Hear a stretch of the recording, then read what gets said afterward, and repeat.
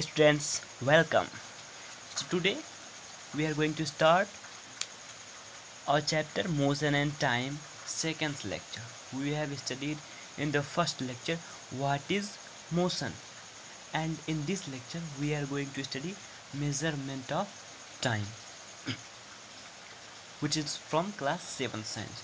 So pay attention to the class and after the class you have to do the homework of your textbook and if you do not able to solve the questions ask me in the comment box. Okay?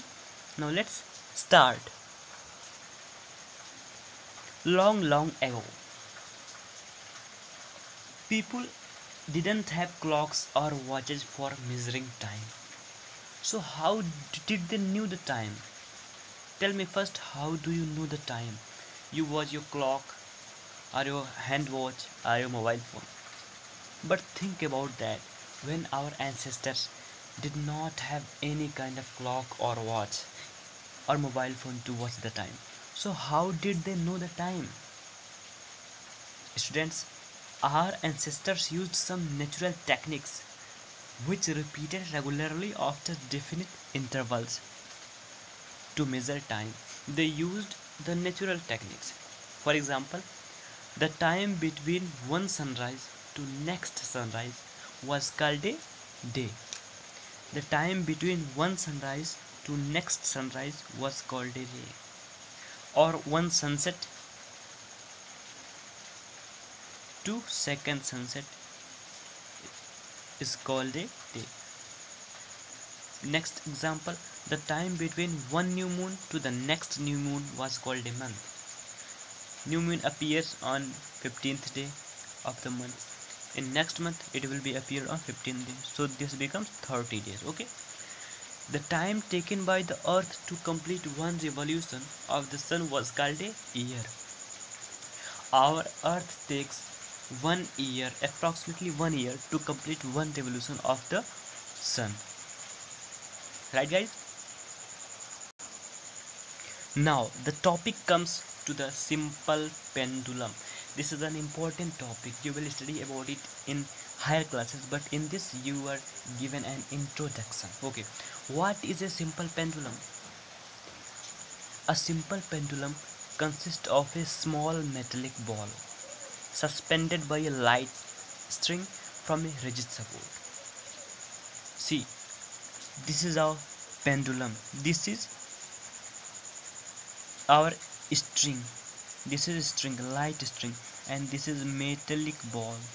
That's called the bob okay? And this is where we have supported our pendulum. There are not so many ball bobs. There is only one bob. This is shown for your understanding to understand that it is in motion okay?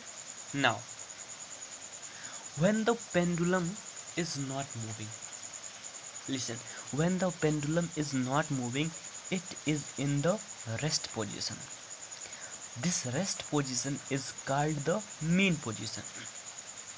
Now when we try to push or pull our bob the bob moves from 0 to a and from a to 0 after that it moves from 0 to b and from that it moves from b to 0 this movement happens until when we keep pushing it okay?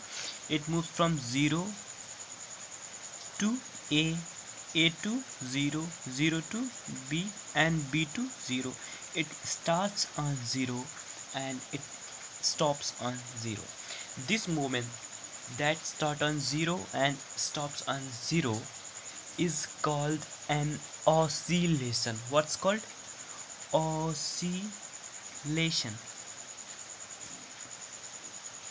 What is definition? The time taken for one to and fro moment. What is to and fro moment? This moment 0 a 0 b 0 0 from 0 to 0 is called to and fro moment. The time taken by the pendulum for one oscillation is called its time period. See suppose it takes 1 second.